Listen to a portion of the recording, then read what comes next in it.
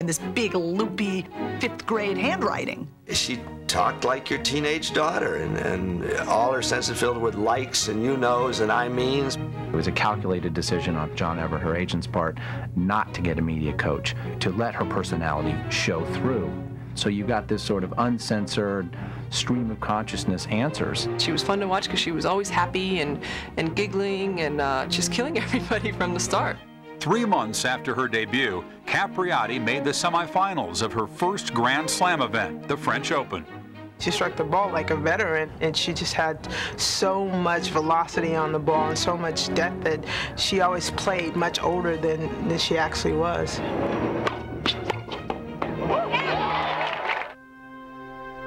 When she first came onto the scene, it really was all about how Stefano Capriati poured his life effort into creating this tennis player out of his daughter Jennifer.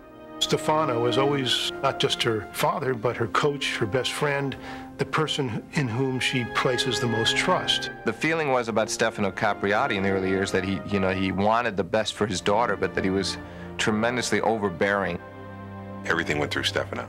He oversaw her tennis, as well as her endorsements, as well as all off-court activities, all in media interviews. Everything ran through him. Such control began early, almost from her birth to Stefano and Denise Capriati on Long Island, New York, March 29, 1976. Stefano is known for dangling a tennis ball over the crib, and Stefano is known for having Jennifer one month do sit-ups. He put her on a pillow and does these sit-ups, pulling her arms up gently and sending her back down again. And everybody said, what are you trying to do? He said, I'm going to make a tennis player. Jennifer started hitting tennis balls at three. Two years later, with the family living in Lauderhill, Florida, Stefano delivered her to Chris Evert's tennis mentor, her father. Stefano brought Jennifer to me when she was five years old. I could see right away that she was an eager little kid with a lot of talent and that she was going to be lots of fun to work with. I like competing with other people, and I, I like traveling all over the world, and I like winning. In March of 1987, Jennifer appeared in Sports Illustrated's Faces in the Crowd, just as Chris had.